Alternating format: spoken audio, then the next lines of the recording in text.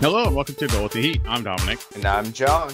I'm Melissa. and this is your cultural guide to punch, chop, and kick your way through the, the greatest era of action movies. Although we have something a little different this week. This is our second episode, and you should watch it. Uh, we got a lot of great feedback on our first. You should watch it for Red Surf. Now that might be because of Clooney. It might be because he gets burned like bacon in the microwave at the end of it. Crispy. I think that's why. But did they ever make it to Portland? We're never going to know. That's the sad part about this. But this is our second. You should watch it, and we went a little further out there. You know, we normally talk about action movies, karate movies. Mostly, we were torn. It There was a serious debate over if we should watch Never Too Young to Die, which is a gymnastics karate movie with John Stamos, where people ride Yes. horsey motorcycles. Tempting. We also talked about the raid, which came out in 2011, which I and I watched the first hour of it. I gotta go back to that movie. Like that is right in our wheelhouse. Although we don't normally talk about new movies because I mentioned before, modern action movies died the day Mad Max Fury Road came out. The raid, the raid is. I can't wait to watch that one. And there's a number two. So Oh, boy. Yeah, I don't know. I think with some of these Netflix films, I think the action movies are coming back because we're starting to get a little bit more die-hard hero type, or like they just Netflix just basically spent the whole last year on heist movies. You never know. yeah, that's true. But we decided, you know what? We want action, but we love horror movies. You know what else we love? Sci-fi movies. So what if we put the two Hell together and came up with the movie Chud or Cannibalistic Humanoid Underground Dwellers? I think Chud is better. I have a I have a theory. I don't know. I've never seen this movie before, and now that I've seen it, and I know that there's a Chud two Bud of Chud, what? I have theory on what Bud, Bud of Chud? What? is. Yes, I have a theory on what that is without having zero zero insight onto what. We should have watched actually that is. first. Gone backwards. Wow. Is it a porn? I wonder. I wonder if any of the characters made it back. Yeah, that's a good question. I'm gonna go pull that up to see what actors come back in Chud 2. But Because I don't think I saw it on anyone I looked up. Yeah, we don't normally get into sci-fi movies on this podcast. It's For a something we- reason. We, dabble here and there in sci-fi. But, you not, know, not not because we don't want to. Sometimes there's certain people in the podcast who definitely want to go sci-fi. Uh-huh. Um, and there's certain people in the podcast who definitely don't want to go sci-fi. and that's where we are now. oh, you know, it'd be really funny. I'm just saying, I'm gonna make you guys watch Dune eventually. It'd be really funny for a season to do like it's like a whiplash season where one episode is sci-fi and the next is rom-com. For the record, I don't even like rom-com movies. I know that's pretty crazy, but I can't even watch those. I need karate in my movies, okay? Chud had been on my list for a while. I knew that I had to see it. I knew that it's a cult movie. It's really popular. I had never seen it before. I knew that it had an interesting cast. Like I had seen some of the names that were in it, but I had no idea until we watched it just how deep the guest stars are mm-hmm. in this movie. So it, I was really excited to be able to watch it. Although you know with the raid, like that's still still pulling on me out there. Just, just saying, I'm going to get to that. We don't normally do sci-fi, and we don't normally do horror, which is totally a thing in this house. We love yeah, watching we love horror movies. horror movies, and there was a bunch of them that I really considered that Mhm. we, we could do for you should watch it, Mhm. like Prom Night or um Slumber Party Massacre. That one was pretty Or good. that Parasite movie with Mm. Demi Moore. yeah, That one's yeah. that one's really popular. Same thing, Mm. practical effects too. This movie, I think, came out of nowhere for us, and then I know for at least two people, they left this movie like, yeah, let's watch that again. Yeah. Uh-huh. I thought it was good. I'm not gonna give I'm not gonna give too much away. A little backstory on the movie. It originally premiered on August 31st, 1984. It is directed by Douglas Cheek, who does not have a Wikipedia. Well, huh? Yeah. And How, it's writ- how? Okay. yeah. And it's written by Parnell Hall Well, it's just and Shepard Abbott. h- how did he avoid one? I don't know. I don't know. Like maybe did he literally only do this and just disappear off the face of the earth? maybe he was Chud. Maybe. Parnell Hall was not just the writer of the screenplay; he also plays Judson in the movie. Oh, I didn't know that. He's actually in the movie too. what the behind the camera boils down to is that it's a bunch of nobodies. There's a bunch of nobodies that are behind the camera that somehow finagled a bunch of soon-to-be A-listers or like you know B-listers to be in this yeah. movie. you look at the people who are the main characters and you're like, I recognize them from stuff. And then you look at the people who play like extra number two. Hey, I know who that is. Like he's a big time act. Like he actually was in a bunch of stuff. Yeah, yeah, and that's you know let's let's. This is like you should watch it. So we keep we're not going to go as deep into the movie. So let's go explain why we think you should watch Chud. Beside the name, the name is fantastic. Just to say Chud repeatedly, mm-hmm. I love saying Chud. That's what, that's what it boils down to. But let's go give our quick rundown on why you should watch Chud. This movie sets the tone right from the very beginning with a lady walking down the middle of the road, walking her dog because it's New York. So, you know, there's nowhere for the dog to crap except for in the middle of the street. right in that manhole cover. she just gets like sucked in. And guys, you'll never believe it, but the woman walking the dog at the beginning of this movie, her name is Laura Mattos, and she is Daniel Stern's wife, like his real life wife. oh, really? Yeah. Wow. Yeah, yeah. So she plays Bosch's wife in this, or uh, as we know her, the lady that gets sucked down the manhole cover. uh, later, we do see her severed head. So she does get like we do see what she looks like. Was that like. really her head? No, I'm They at least found her head. I felt bad for that dog. Not the lady. Whatever. Like shit happens sometimes. Welcome to New York. Oh, that dog. exactly, exactly.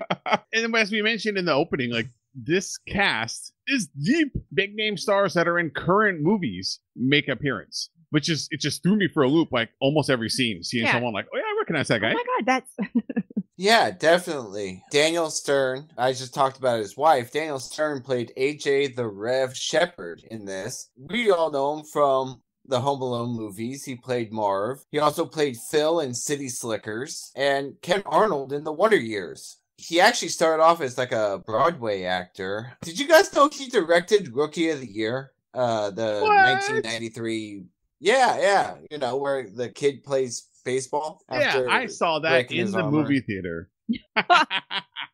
He also did a voice on 30 episodes of the animated show Dilbert. The other big name actor plays a main character is John Heard plays George Cooper. And unfortunately John Heard passed in 2017. He has 180 acting credits. And uh, he was actually a respected thespian in the late 70s and early 80s. And then he got into doing film stuff. And like, th- there was a time in which it looked like John Heard was going to be like a big name as an actor, and he just it just happened. His career kind of fell as more of a supporting actor. Obviously, he plays Peter McCallister in the Home Alone movies. But John Heard was also in Big with Tom Hanks, played a corrupt detective in The Sopranos. He was also in the in the one of the Sharknado movies too. So Oh Uh, yeah, Yeah, that's right. yeah. He's, he's in the first he's one. in the original one. He's like the bartender. No, the drunk, Mhm. kind like the guy Yeah. he's on the.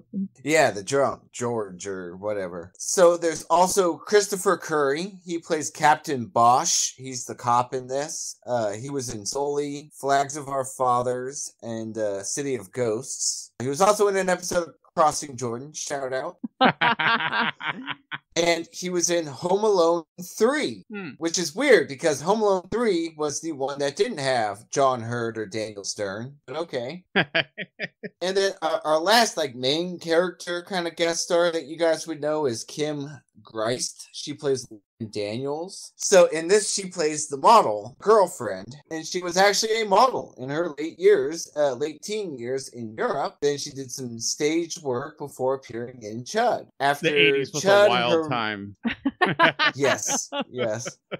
After Chud, her next role was is probably her most notable role. She played the blonde fantasy girl of the futuristic bureaucrat Jonathan Pryce in Terry Gilliam's Brazil. And then, an honorable mention. There's just a ton of big name actors who played like smaller roles in the film. John Goodman shows up as a cop in in Diner, and almost didn't recognize him. He is so skinny in this movie. I know. He's very young. John Heard's older sister actually shows up. She plays Officer Sanderson, and she was also Wally in Caddyshack. Sam McMurray, he's uh, Officer Crespi. You'd know him from Raising Arizona, LA Story, and The Addams Family. Hmm. Eddie Jones, who plays Chief O'Brien, was in The Terminal, Seabiscuit, also in an episode of Crossing Jordan and A League of Their Own, and Cadillac Man. Important. Everyone who was in Crossing Jordan is obviously important because they're big name actors. And then Bill Raymond, who played Victor, was also in the 12 Monkeys, Lincoln, Michael Clayton, but most of us would know him as the Greek on The Wire. Oh yeah. I, it's like the wire the wire is so great and so exhausting like there's people all the time like they're in the wire i'm like oh yeah and then i have like a flashback to that season and it's, it's like having ptsd Yeah, you're like, oh god, yeah. Now I remember.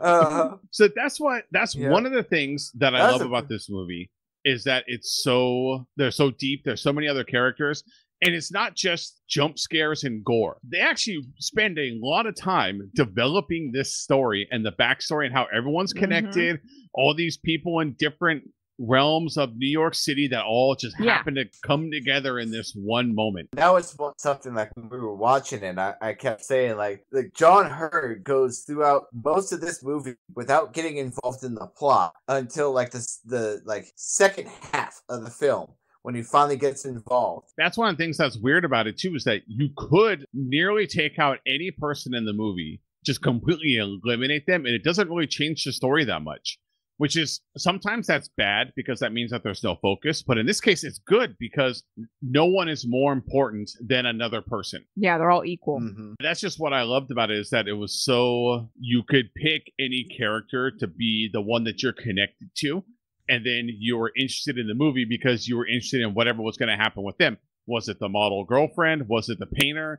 Was it the main cop whose wife got killed? Was it the the the evil government the or the person running the homeless food Yeah. bank like who you could pick a character mm-hmm. and tie yourself to them. Almost all of Yeah. them, actually, all of them make it through the entire movie. No one just dies, and then that character you're connected to just is gone. Yeah. Daniel Stern's character, he plays the soup, the guy that runs the soup kitchen, and he's this total former hippie, believes in all the secret government stuff and spacesuits. I mean, he's basically Joe Rogan.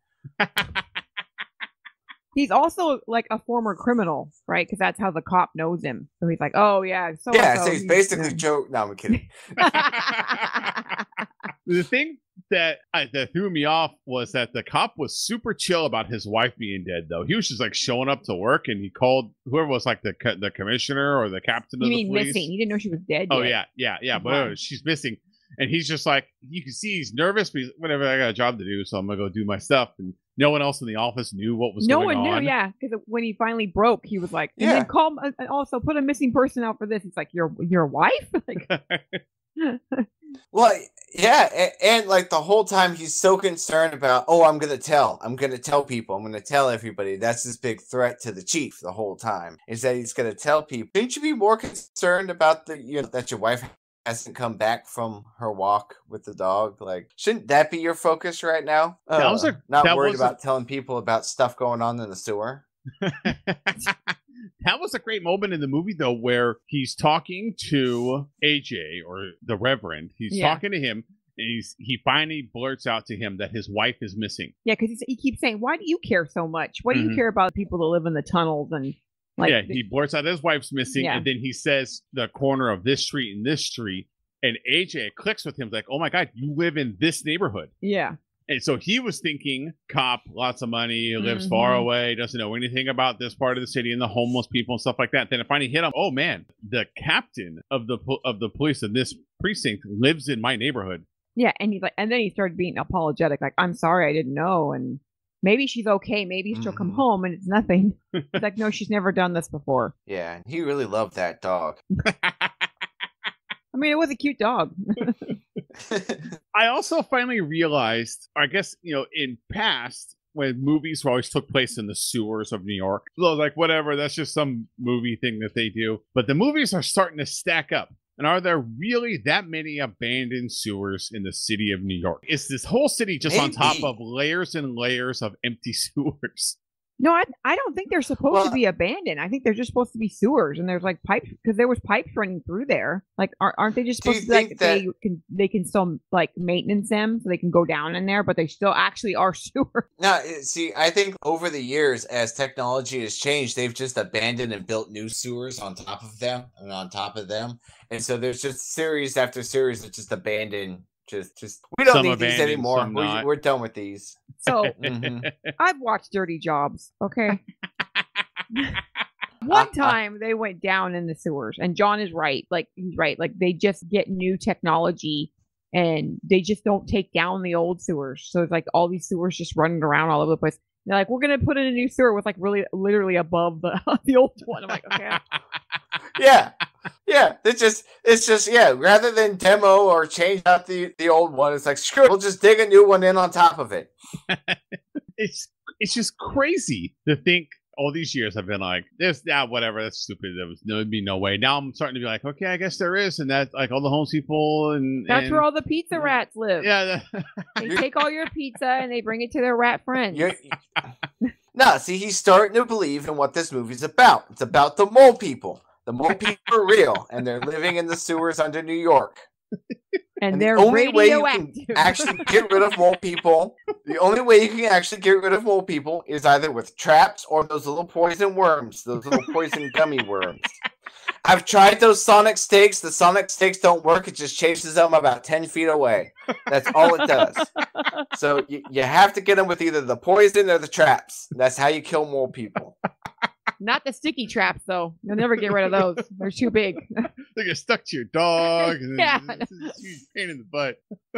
On the opposite end of that, though, I do think that this movie, one of the the political messages that's in the movie, if you can believe it, in Chud, Chud was chocked full of political messages, believe it or not. yeah, one of them about respecting homeless people Yeah. and helping them. And like, like, yeah, they live underground, and there's the food kitchen aspect of it. But then also, like, they're trying to save them, try not to let the city gas them and, and kill all the homeless people that are underneath there. And then the the photographer that taking picture of them for the news article, and all around every corner, it's all about you can't just treat homeless people like they're disposable. Yeah, you can't take advantage of them, which is what the photographer was doing, right? He was taking pictures of mm-hmm. them, making money on it, doing these exposés with these writers, and then he was like basically not caring about them. Like, whatever. Like, Yeah, um, you know, and that brings up the photographer. So like so John Heard, he's so we we meet him at the beginning of the movie and he's hanging out and his girlfriend or wife is like a model. And so like like we basically the first couple times we see him, it's like date night. Like first he's taking pictures, then they're going to a shoot, then he's taking pictures of her nude, and then they're like just going out to eat. So like I, at, and at all these points, he's doing whatever possible to avoid having anything to do with crawling around in the sewer to take pictures of more homeless people.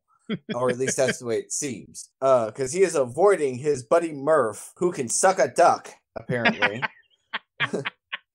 can he really suck a duck though? uh, uh, he, and he manages this. Finally, Murphy talks him into going down and, and checking this out, and he ends up. And that's why he ends up getting kind of stuck down there when they plan on unleashing the gas to basically just murder all the mutated homeless people.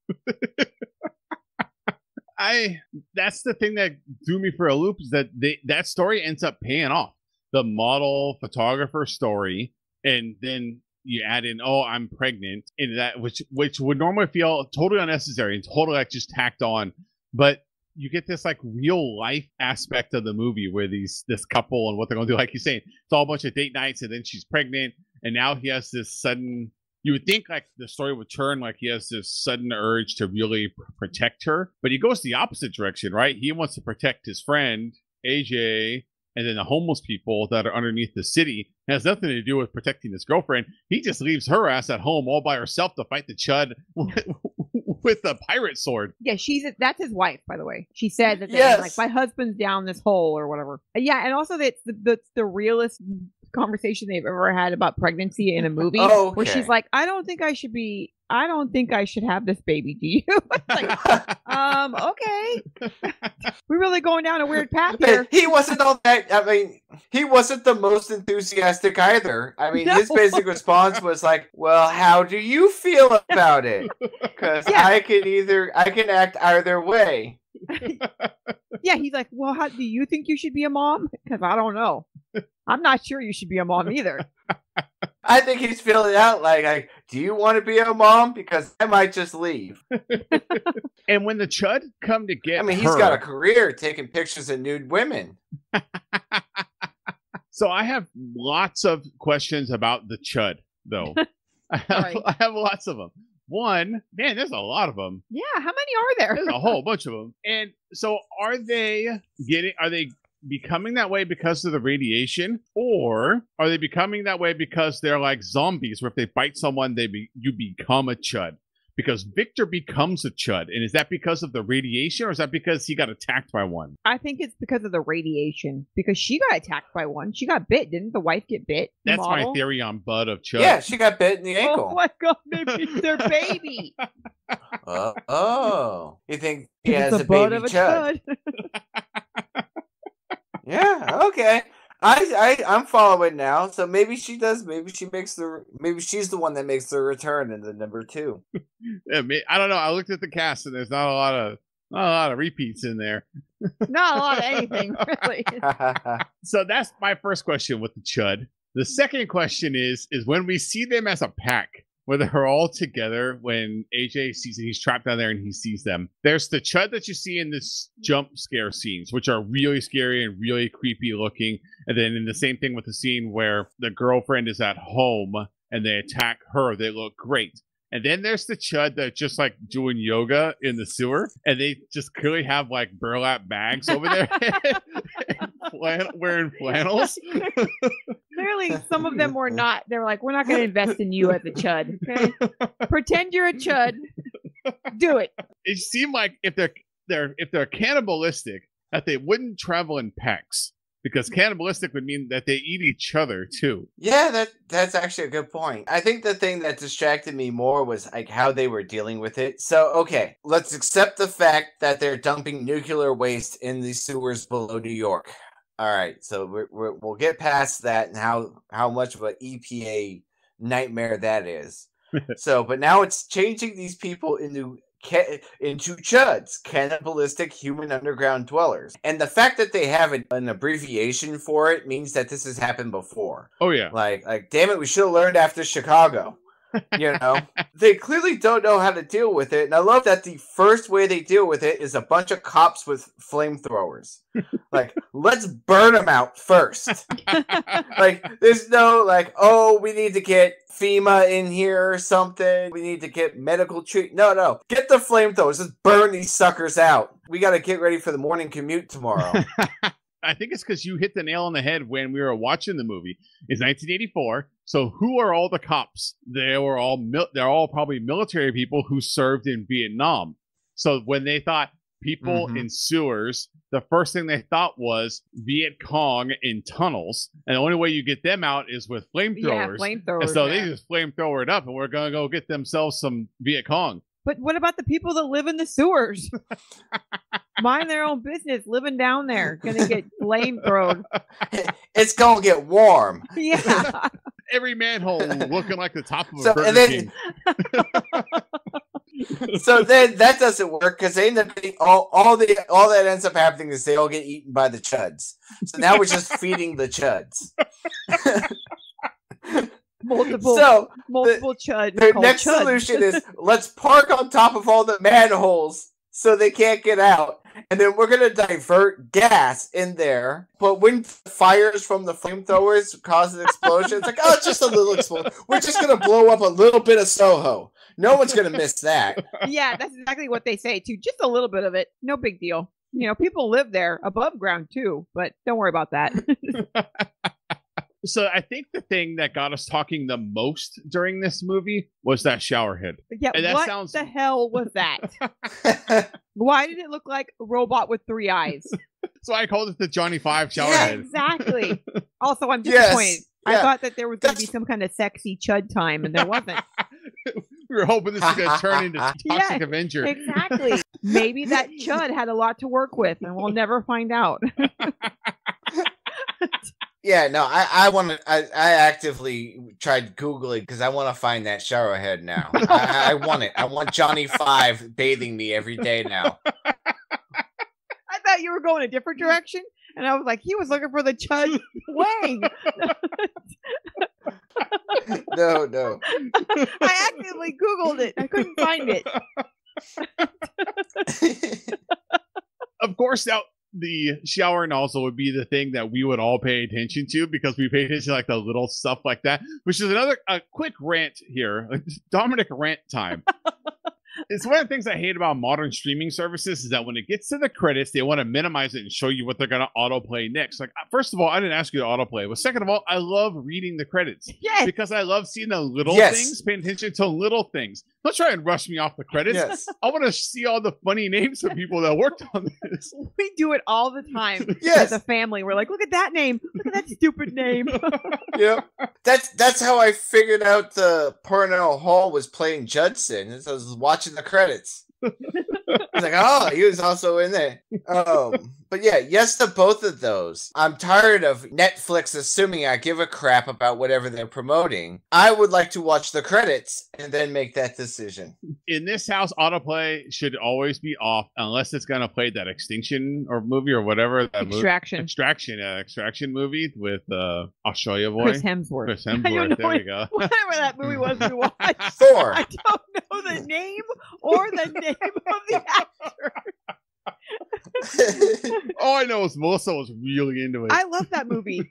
I was so into it. I was crushed when, when I thought he was dead at the end. I was like, oh my God, he died. Why?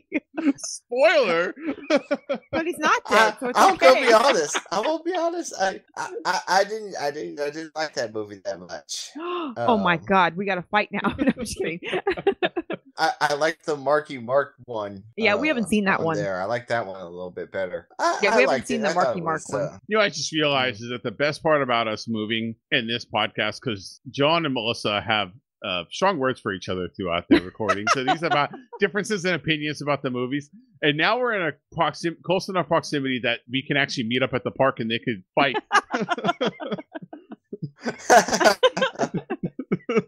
we have differing opinions because we are both very cultured in pop culture, whereas you True just story. watch the same like three cartoons. So I mean, truer words were never spoken in this house. All he does is watch the same things. We start new shows. He's like, "Yeah, we're not gonna go back to that." I'm like, "We just watched like two episodes of it. Let's go back." No, in a month, in a month. So I know I first of all I saw someone on Twitter say that they watched some show then they binge watched all 61 episodes in like five days or What? something like that. Yeah. no. So like, I, I yeah, that's something. In the last month, I've watched exactly two episodes of that show, Jack Ryan. There's only ten episodes or something like that in the entire season. It'll take me another six months to finish it. Yeah, I'm like, so we're gonna watch that show or what? I mean, it, it, on the flip side, in the past week, I have watched every single one of the Marvel movies that they've released so far. And I'm also making my rounds almost all the way completely through the sci fi show Dark Matter that went three Mm. seasons with about 22 episodes a season. Yeah. And that's just this week. So, By the time we get to the end of Chud, all of these dis- disparate stories that are happening, they all come together. There isn't one that's just left out. Oh yeah, this person they we talked about him, then they just disappeared. Which is like a hallmark of a B movie, where they introduce some side plot and then it, it goes nowhere, and you literally never see the people again. In Chud, they it all comes together, and they all have to help each other at the end in order to be able to to close out the story. like you said, everything kind of culminates, you know, and I think like a lot of it starts with like Murph gets eaten, you know, but he can suck a duck. the whole time, the Rev and the photographer are trying to find their way out from the sewers, and you've got the wife, she's pleading that they don't gas them. And the cops trying to get corporate guy, trying to nail him down and arrest him. Who man, the whole time he's just got this like scowl on his face. He looks like a pissed off Monopoly guy kind of deal. like he's the dean of a school Which that has Yeah. an out Si- of on the control side- house on their property. I think we've rambled on enough about this movie. There's so much more to this movie. There's so many other miscellaneous scenes that happen in this movie that are, that are really great. But I think we got to wrap this one up. Let's go give our final thoughts on Chud.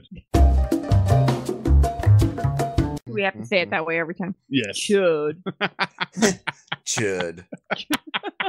now that we've all said it that way. All right, John. What are your final thoughts on Chud? Why are you recommending this as a you should watch it? There are some older sci-fi movies just that just hold up no matter how old they get. Invasion of the Body Snatchers and stuff like that. Where it's just it's, it's just a good, fun sci-fi movie. And it doesn't matter if eh, after 10, 20, 30 years, if, if the effects are cheesy, the story holds up. And the thing that turned me on about Chud was that the story was really well thought out and really well presented. And like you said, you know, all of the characters played their own part and they all were just as important to the movie. And it didn't need a big name star for me to say, uh, for me to enjoy it, you know, or stay locked into it for me, Chud is is it, it's gonna join those types of sci-fi movies that just hold up over the years because I I really kind of got that feeling that kind of a swamp thing kind of sci-fi classic. I really enjoyed it. I also enjoyed the that in the end. So not only did they kind of talk about a message, uh, like a strong message with dealing with homelessness and stuff, but at the very end, they don't really solve the sewer monster problem. So there's still totally sewer monsters in New York. uh, they still have a, a total issue, uh, chud infestation. And so because they didn't deal with it the correct way, if you have a chud infestation at your house, you need to set traps and spray for humans. It's it's that simple. Melissa, what do you have to say uh, in your closing thoughts about Chud? I will be honest. When when we picked this movie, I was not as enthusiastic as you guys are because sometimes I don't like the practical effects because they're gross. Some movies are gross, and I don't like them. I don't like gross. It just things. looks sticky. Yeah, it does. It's moist and sticky, and I don't like it. but this movie was different because it actually has like it. I mean, it was. I thought it was well written. Like really, honestly, I thought it was well written. Like the story actually made sense. It was cohesive and had a big, strong message. You hear about that, Parnell? You did a good job. yeah, exactly. Had a strong message, like politically, for several different things, not just like not just homelessness, but what about like like the government and conspiracy and like how they're lying to people and how they think they can just do whatever they want and like just dump this toxic waste in the underneath. Also, that they were making they were breeding killing machines. That's what they were doing. So there's all kinds of facets of the Mm. story that go off, and you're like, really, this is this is chud, but it's deep. and I, I, I, I also, I also want to know what the hell that shower head was, and I want to find it because it looked like a robot head with the water shooting out of the middle eyeball. yes. I really, really love this movie. Now, I'm a sucker for practical effects. If you give me the choice, I will watch The Thing every week Mhm. for the rest of my life because of the practical effects that are in that movie. The same thing with Videodrome, with The Fly, with there's all kinds of movies that I absolutely love, love, love because of the practical effects. And this movie, they do a pretty good job. There's a couple scenes. Okay, they have a tight budget. They have a hard, tough, tough budget, but but for the most part, it's really good. The other thing that I really liked about this movie is that if you love the movie Mimic, this movie is for you because this is essentially Mimic, but not giant cockroaches, radiated humanoids. That's what it, that's what Chud is. So what I'm saying is that Mimic ripped off Chud. That's what I'm getting at. And that's why I hate it. yes. But yeah, i- i- if you love Mimic or that type of movie, this movie is for sure for you. Like you will love Chud if you if you haven't seen it, you will want to watch this. My only disappointment when we get to the end of the movie is that they never found Bosch's chin. It's just missing. He- they never find it. He put out a missing report for it and everything. And that's going to do it for us this week on Go with the Heat. We hope you enjoyed this special edition episode of You Should Watch It for Chud. We would love to hear from you. Email us go with heat at gmail.com. Let us know if you like this format too. You like the shorter format. You like us talking about, you know, more out there movies, things that aren't just about karate, movies that are a little bit off the beaten path. Too, or if, and if you want us to do some more modern stuff, you want us to do that Marky Mark action movie, you want us to do Extraction, The Raid. Come on, people, email about well, us watching The Raid. You want us please. to do Dune? We'd love to hear from you. Email us gowiththeheat at It's gonna happen, guys. It's gonna happen. Go to the website, gowiththeheat.com. You can find all the ways to contact us, all the ways to subscribe. And like I said, we'd love to hear from you. Let us know what you think of this format. That's going to do it for us this week. We hope you enjoyed the show, and we'll see y'all next time. Bye, pals.